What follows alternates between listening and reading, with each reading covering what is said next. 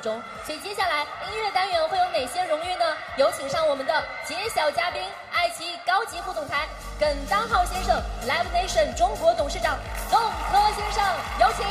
欢迎两位，有请二位为我们来揭晓荣誉啊！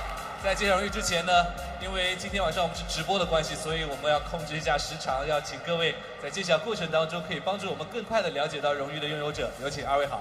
呃，大家好，我是爱奇艺耿丹浩。啊，我是宋哥。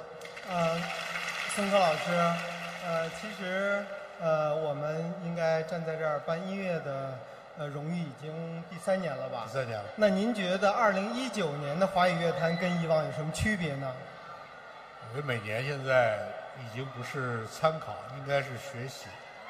我去年就是我们爱奇艺三个音乐综艺的忠实粉丝。哦。呃，中国新说唱，我是唱作人，还有当然乐队的夏天，我是从头看到尾。哦。对，当然还有我们那个每年我们那个 CMA 呃音乐奖，跟爱奇艺合作已经到第三年了。对对对。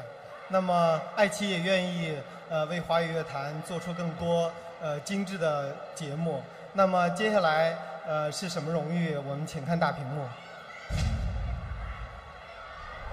他是精通编曲作曲的全能音乐制作人，音乐上不断突破创新，追求极致。继三张个人专辑后，他再度担当音乐制作人，打造2019全新 EP《Honey》。细节和情绪让每一首歌都充满惊喜，不断前进，追逐音乐梦想，成就了今日耀眼的他。二零二零爱奇艺尖叫之夜音乐单元年度音乐制作人张艺兴。祝贺张艺兴，有请张艺兴先生再次上台，再一次接受荣誉，请。